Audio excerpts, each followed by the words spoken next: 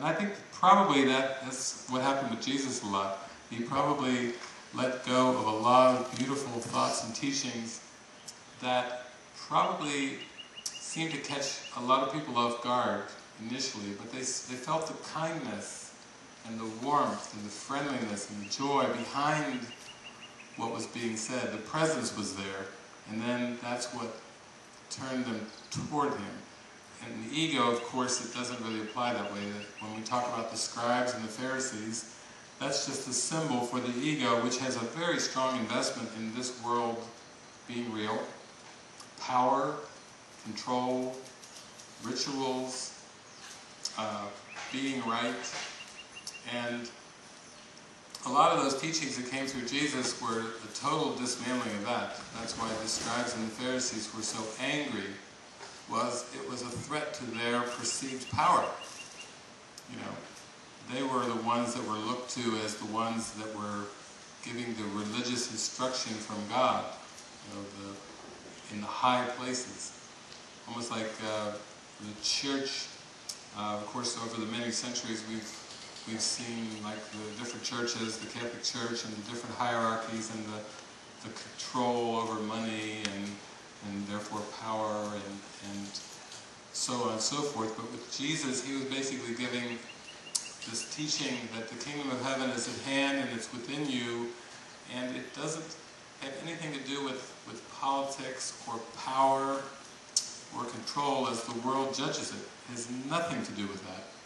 So that was what the big threat was to the Pharisees and the scribes. They were basically concerned for their positions and concerned like, uh, if this guy keeps talking like this, uh, we're going to be out of a job uh, quickly.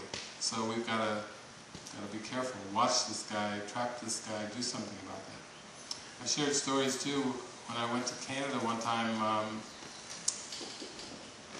I was asked to speak at a religious science church you know, kind of a New Thought church and pretty open-minded religious science church. They were doing a 10-day series, I believe, on the Buddha at the at the religious science church. That's pretty open-minded. So I went there and I had four people with me that I was traveling with and I spoke a little bit during the morning service and then in the afternoon we, I just took a microphone and we passed it around and we just had a typical nice deep session, you know, where you really go deep into the mind, which was basically that you have the calling, you have the answer within you, and you can access that. Uh, it was beautiful, three, four hour talk. And then uh, when I left, I got back to Cincinnati, and about a couple weeks later, I think another Course in Miracles teacher was coming up there, and uh, his name was Robert Perry, and, and they wrote an email saying uh, that that Robert Perry would not be allowed in the sanctuary due to the controversial nature of the previous uh, Course in Miracles teacher. I oh my, controversial nature.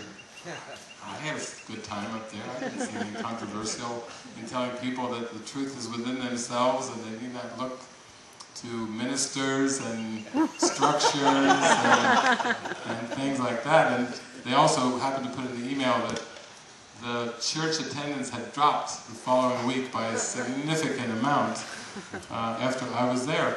But see, so I mean, it's the message of Jesus is is not really meant to be a popular message. This is the ego's world.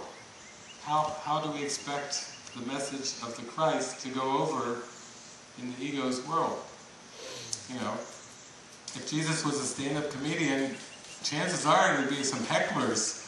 Uh, if you look at the politicians, Barack Obama and the politicians and all the hecklers that show up at those rallies and those speeches, imagine if, if Jesus started just sharing these ideas about the unreality of the cosmos and the reality of love, you know, that's not always going to go over big.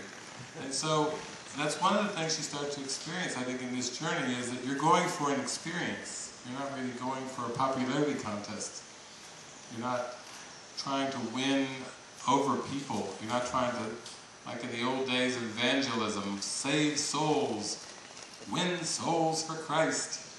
Thank you, Jesus. You know, wait, whoa, whoa, praise-a-thons and all this and this. We're, we're talking about a state of mind that's, that's joyful and happy and peaceful consistently. And that is no small gift. As many who have come before us have, have made an attempt at that experience. Let me go for that lasting happiness. You know, that is no small gift to go for that.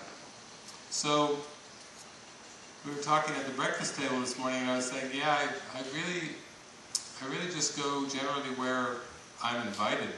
Um, uh, there was one time when somebody came to me and they said, uh, if everything is just so perfect, like you're talking about, why go anywhere?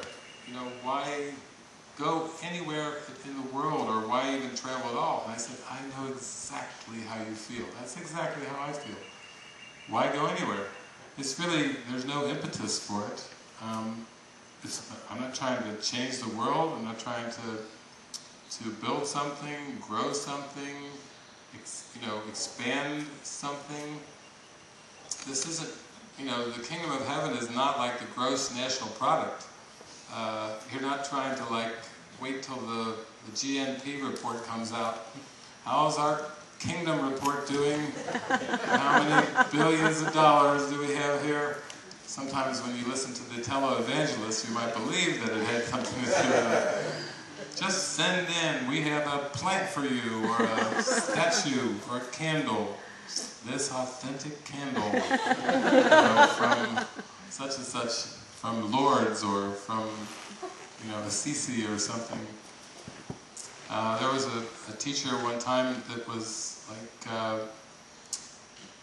was charging money for taking people into these these caves, mystical caves in in uh, in Israel, or sometimes you'll see that you know these little bottles of oil, the actual oil that, Jesus Christ you know was anointed with on his feet and everything, you know, and selling these little bottles. You know, it's just amazing how the ego will just try to commercialize anything. I was I was in the Southwest a number of years ago, and I went to this beautiful little uh, chapel that had been built, and the chapel had kind of a legendary story around it, that, that they had a, a group of nuns had come from, from Europe, and they'd come over there, and they had wanted to build this chapel, and it was, you know, kind of, you know how the Southwest is, it's quite dry and arid down there, and this was a bit um, isolated and so forth, and so they just kept praying and praying, and a, a carpenter showed up and built these beautiful, they actually had part of the chapel and the area built, but they had no way to get to the loft, to the top part. And this carpenter showed up and built this beautiful kind of a spiral staircase with these steps interlocking. And they'd never seen anything like it. You know, the architecture and the way that these steps, without any like means of support. It's just one step was supported by the next and the next without any kind of under support. And the legend spread that it was it was Jesus. Jesus had showed up in the southwestern United States and built this staircase and then mysteriously disappeared. So anyway, I went there, I heard the whole spiel about the thing, went and looked at the steps. I couldn't even walk on the steps. They were roped off, you know, just like now, like part of a museum. You could look at the steps, but you couldn't walk on the steps. And then they had built around this chapel uh, a shopping mall. uh, nothing like a little of to there. So you had it's this chapel with these legendary steps, so-called, and then this shopping area. You could go with all these shops. It had been totally commercialized. And you know, that's the ego's trick. It's just going to try to commercialize everything. You know, Christmas was just supposed to be a simple reminder of holiness, you know, uh, of the holiness, of symbolic of the birth of the Christ uh, coming to this world, a world of darkness and chaos, a, a beam, a beacon of light. And then you look at how commercialized Christmas is. Did you buy me something? Am I on your list? Okay, then I'm going to cross you off then if I'm not, you know, it's all this exchange and materialism. Easter, you know, great symbol of the resurrection. Chocolate, bunny rabbits, Easter egg hunts, you know, you got to sniff around to even find a, a, resurrection story there going on at Easter anymore because the ego has so commercialized anything that would remind a sleeping mind of holiness. You know, it's got to be covered, covered immediately, and covered in disguise. Then Halloween, that's kind of interesting uh, holiday, you know, skeletons and death and candy all combined. Death and sweetness put together. interesting. Uh, and then Halloween was kind of a reaction to a, a holiday that was a little more pronounced over in Europe, All Saints Day. Uh, you know, Halloween was just put right next to All Saints Day, and it did the job. When I was growing up, I never heard of All Saints Day. I heard of Halloween. That was a big deal. Trick or treat. Listen to that. Trick or treat. It's not even subtle. That's the ego's plan for salvation. Trick you or treat you treat you nice in all kinds of ways that the ego has set up to trick you. So it's not really trick or treat, it's trick and treat. You get tricked and treated in, uh, in a way that really is not a, a real treat at all. Forgiveness, the miracle, offers an actual treat. When the mind is, is caught up in conflict, it needs forgiveness to come back to stability to stabilize, to find consistency, harmony, you know, coherence, to be in alignment. You know, you know, it will take a miracle to have that alignment. And it's not really like an intervention from beyond uh, this world. We could say like the Holy Spirit was, was given simultaneously as the answer. And so as long as the ego has seemed to exist, the Holy Spirit has always been there. Uh, it's just that Jesus was the first to kind of tune in so much that he's our symbol of, oh, it's not what it seems. This world is not what it seems. And it's more than that, it's really not anything at all. But it's just definitely not what it seems. And so that's why Jesus is called like an elder brother or a way shower. Not a figure to be worshipped, uh, basically, a lot of this ideas of praising God and praising Jesus and everything, God and Jesus, we could say, really have no ego with which to receive the praise. So, you know, if you just constantly are just praising, praising, praising, like sometimes the praise-a-thons, Lord, we lift your name up. How many times do you have to lift the name up? Uh, we lift your name up, we lift your name up.